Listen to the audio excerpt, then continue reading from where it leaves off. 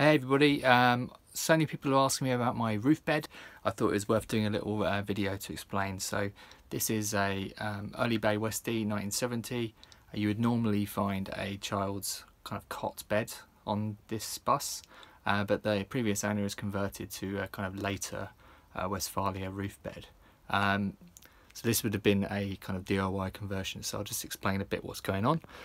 Uh, so yeah, effectively up in the roof, we have this um, this solid board which has been uh, covered in the kind of Westy mustard vinyl which is really nice. Uh, it is sitting on brackets uh, just about see if I show you here. These brackets connect to uh, a nylon uh, kind of block which fits over what I believe is an original kind of feature uh, kind of support for um, that the Westies should all have. I, if, if, if that's not true, then sorry about that.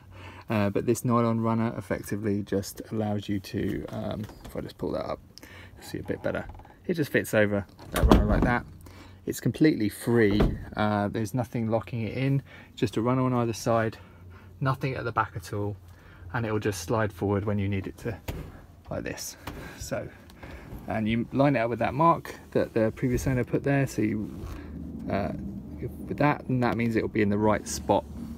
Um, on this side what happens is when you're up there we have a magnetic um, uh, kind of connection on the other side. So you just pull this down like this and put it up like this. It's a bit tight because of the because of the vinyl. And then you are kind of in a bed.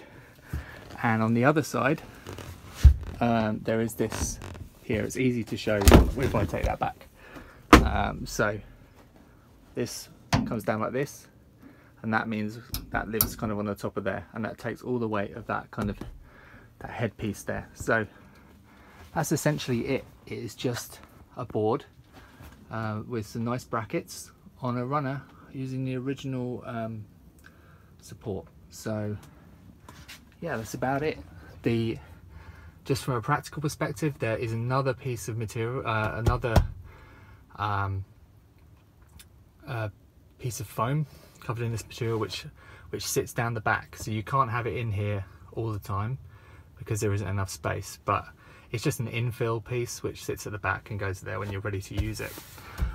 Um, another interesting thing that they've done is added the same uh, type of clip uh, that you would use for your original um, things to hold the pop top down. Uh, so this means you can actually just lift this whole bed up. Uh, I'm doing it one hand at the moment so I won't be able to do it. But you can then clip in your uh, your kind of uh, Westie uh, roof supports there. So you can actually have this whole bed in the sky um, attached to the roof so you still don't you don't lose the head height. So hopefully that's gonna that's been interesting for you.